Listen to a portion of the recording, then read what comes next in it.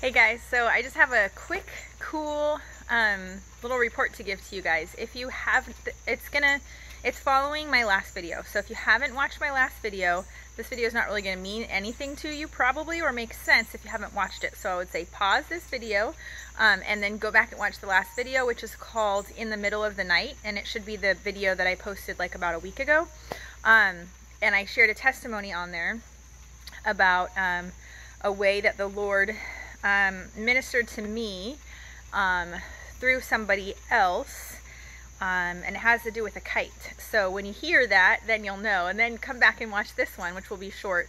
Um, I just want to tell you guys what happened because it's so cool. And cool things happen like that. And the Lord hears us and He um, gives us the desires of our heart and answers prayers and moves in cool ways. But this, so I'm not going to come on and do that every time. I don't come on and do that every time. I just am in awe at how the Lord loves us and how he takes care of us. And this though, since I just did a video about it, I'm like, I have to share this. So um, yeah, if you go watch that one and then come back and watch this one, if you really want to understand what I'm talking about. But um, okay, so in that video, um, I told you guys the testimony about how I was ministering with the woman and that um, we were talking about um, a broken a broken part of my heart and um, my soul and how we were uh, working through bring healing and that sort of thing.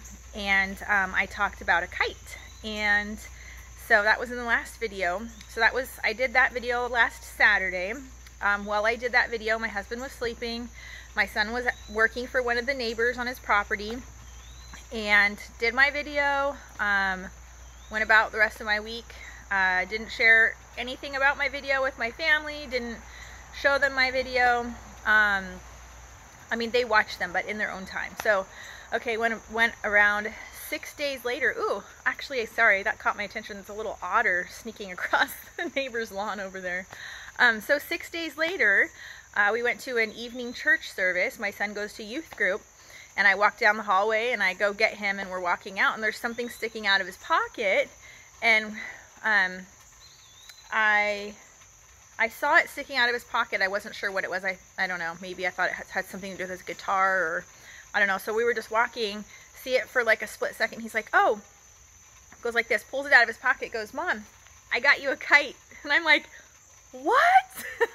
and I just got this huge smile on my face, walked through the doors. And then again, I felt my eyes starting to get teary eyed, and I was like, wow, the Lord is so good. And so I wanted to share that because um, this is so cool. And it's not like a Dollar Tree kite. It's like, I'm excited. I actually haven't even opened it yet because I wanted to um, tell my husband the story, which I haven't had time to tell him yet, and open the kite with the family. And um, actually, I wanted to fly it that night when we walked out of church, but then a huge thunder and lightning storm broke out, so I thought it was not a good idea to try flying my kite at that point, even though there was wind.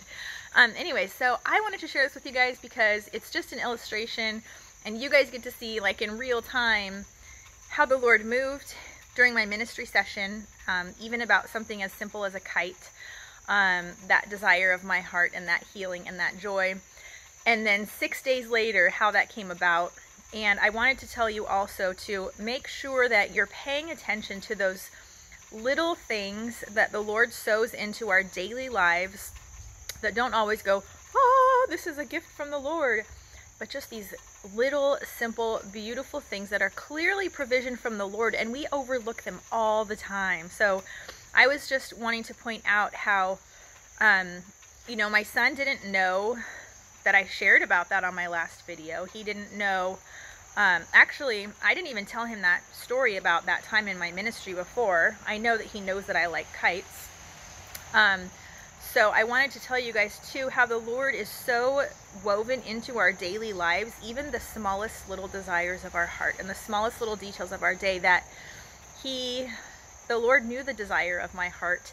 He used my son as a vessel. So here's what happened. He, they were at youth group and um, a boy won a prize, which was this kite. Okay, they played a game or something at the end and he won this kite as a prize. That young man gave this to my son because he had already won a prize the week before. And then my son gave it to me. So how sweet is that, that the Lord used all of these people, the person, the young leader who purchased the kite as a prize, and then the boy who won the kite as a prize, and then my son who gave me the kite, and the Lord is at the beginning because he orchestrated all of that. Look at all those vessels and steps that the Lord put together to bless me in that way. Isn't that so sweet? And he loves us that much. And, um, you know, maybe if you maybe your mind, if you're not used to seeing and spotting those little ways that the Lord puts those special touches into our daily life, your first thought might to be like scoff at it, like, oh, it's a coincidence or it's karma or whatever. It's not, though. It's not. It's it was ordered by the Lord, and that is how He works in our life, and it's so sweet and it's so exciting. And the cool thing too is all of those people were used as a vessel for the Lord and they didn't even know it. They didn't even know that the Lord was using them as a vessel in this really special um, unfolding of something to bless me. So the other encouragement is um, know that we are being used as vessels of the Lord even when we don't know it. Other people are being used as vessels of the Lord even when they don't know it. So just be open to the Lord and listen to those little nudgings the Lord gives us these little subtle nudgings all the time. Go here, buy that, do this. And most of the time, a lot of the time, we don't know why. But the Lord is working things out. So get in tune with that. Get in tune with those little nudgings that the Holy Spirit gives you that and the more you hear them, the more you just trust them and you're like, okay, I know the Lord's doing something. I'm going to listen to that. And um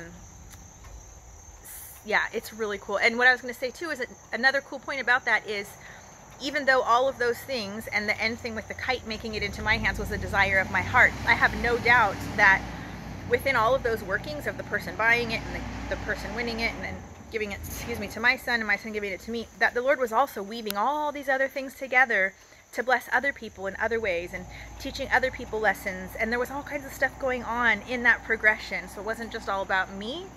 Um, so it's cool the way the Lord works. So I just wanted to share that with you guys. And I will be flying this um, as soon as I have some wind. Today we have some stormy weather, so no wind. But um, thanks for tuning in, and I'm excited for you guys. If you're not used to seeing these little ways that the Lord works, I'm excited for you guys to start keeping your eyes and your spirit open to just finding those little ways that the Lord is constantly working on our behalf.